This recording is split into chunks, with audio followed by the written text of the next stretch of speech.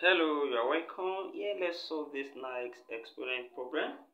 From here, we can rewrite this as 15 raised to power 25 plus 25. We still give us 50 from there, then divided by 3 raised to power 25. Then from here, we can also separate this from the law of indices as 15 raised to power 25 times 15 raised to power 25 from here. Then we divide by 3 raised to power 25 here.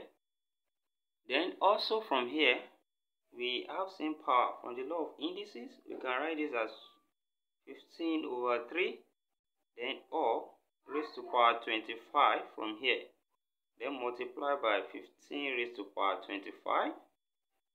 Then here, 15 divided by 3 same thing as 5, which is raised to power 25 times 15 raised to power 25.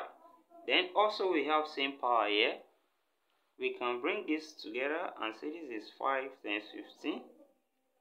Then all raised to power 25. Then 5 times 15 give us 75.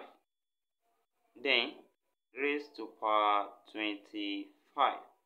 So we have the simplified form here then which we can also use another way to solve this. We have 15 raised to power 50 divided by 3 raised to power 25. Then from here, we can write this again as 5 times 3 raised to power 50 then divided by 3 raised to power 25. Then also from here, this 50 will affect each of these. The power of 50 will affect it. Then we have 5 raised to power 50 times 3 raised to power 50. Then divide by 3 raised to power 25. We bring it here as 3 raised to power 25.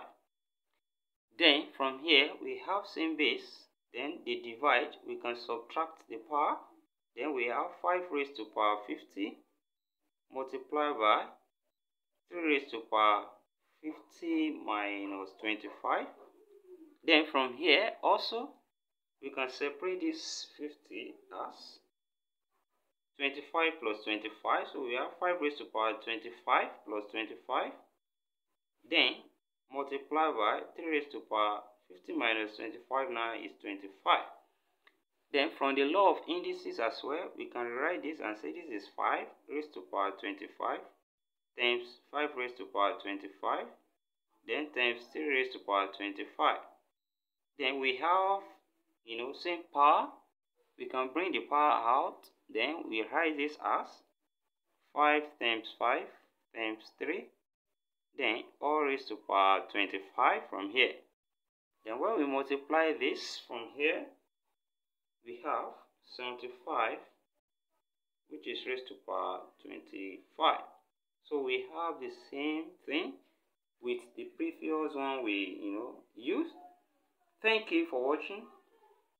Don't forget this step subscribe for more exciting videos. And also turn the notification bell on. Share this video give a thumbs up and see you next class. Bye for now